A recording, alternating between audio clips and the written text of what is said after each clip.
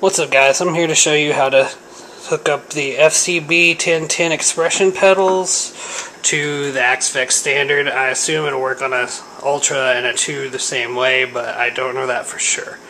I saw a lot of these online, but they all have the EEPROM chip. I do not have the chip, and there were no clear explanations on how to do this online anywhere, so I figured maybe some people would like to know how to do this. It took me a long time to figure it out, even though it's extremely simple. And the first thing you're going to want to do is calibrate your expression pedals, which means you need to hold one and three down at the same time and then turn it on. And every light on the little thing is going to go. And you got to wait. Okay guys, it should end up looking like this. Then you just want to push all of these. I don't think the order matters. Just push them all in. And then to turn the lights off, and then you push down and up, and it'll turn off those other two lights up top. And then it will click a couple of times and bring up this F1. Now, when you're here, you want to press down once. Then you want to push your expression pedal all the way down, as in no sound would be coming out if it was a volume pedal. And then you want to press up, and the little green light will move. And you want to press the expression pedal all the way up or down, whichever way you think about it, and then press up. And now you want to move on over to the second pedal, push it all the way down or off, press up, and then do the other way, and press up. It's going to wait a second. And now your pedal is calibrated, so you just want to push a button just to get it to where it's listening to the Axe-Fx. Okay. Now let's move on over here to the Axe-Fx. You're going to want to push the I.O. button. And when you get into I.O., you want to page over to the control panel here.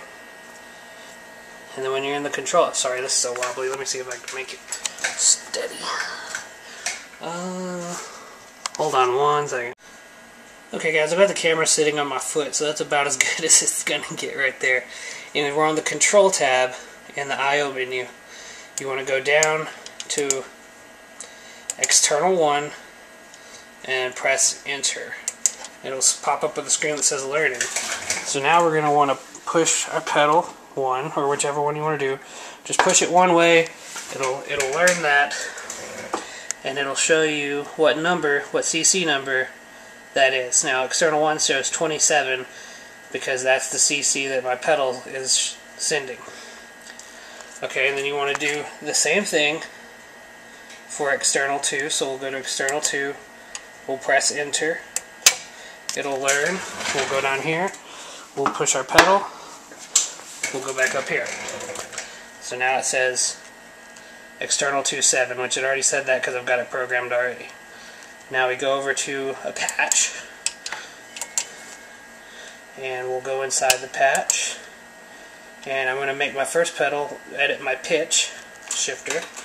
So I'm going to go into it, a pedal, and then I've got my pitch shift set up. You want to figure that out. I'm not teaching that though.